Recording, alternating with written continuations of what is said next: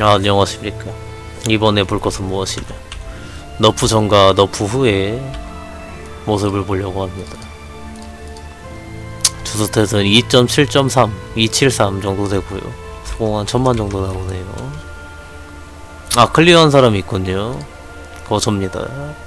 오케이. 한번 가보도록 하겠습니다.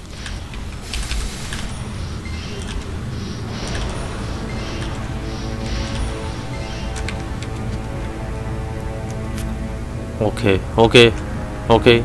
갑니다.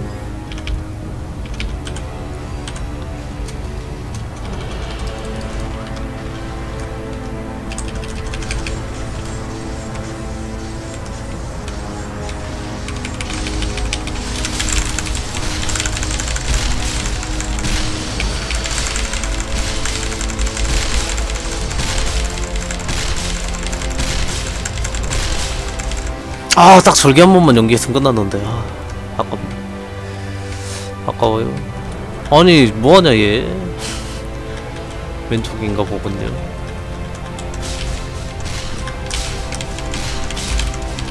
마무리? 마무리, 마무리, 마무리. 이것이 바로 너프전의 섀도우였습니다. 몇입니까? 아, 너프전이란다. 버프전이지.